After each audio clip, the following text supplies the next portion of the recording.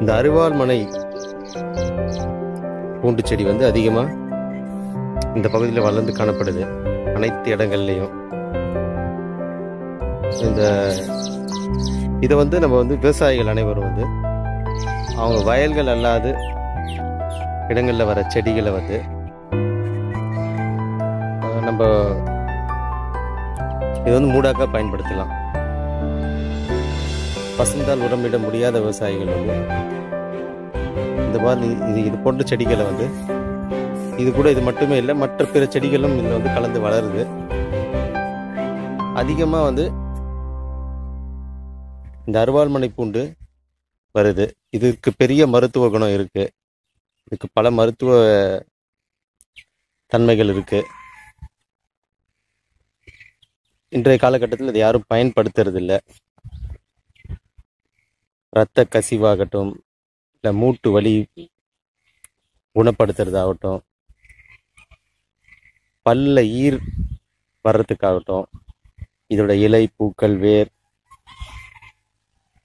அனைத்தும் பயன்படுத்த முடியும் மருத்துவத்துக்கு.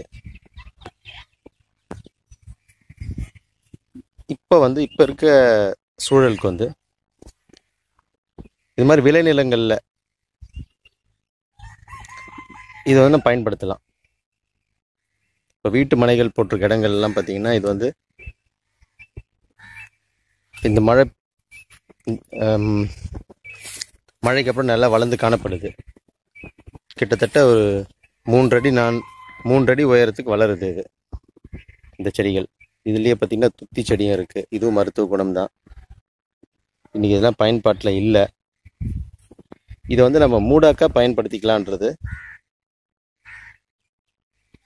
கருத்து. இப்போ இதன் மூலமாக கூட நமக்கு வந்து தழை சத்து நம்ம நிலத்துக்கு கிடைக்கும்.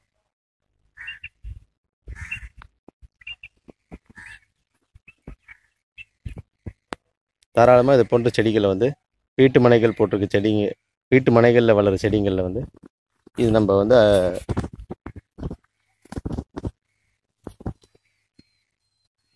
டிராக்டர்கள் கொண்டோ இல்லது நம்ம கையில் அறுக்க முடியும்னா கையில் அறுத்து கூட நம்மளோட தோட்டத்திலையும் அல்லது வயல்களையும் நம்ம இதை பயன்படுத்திக்கலாம். நன்றி.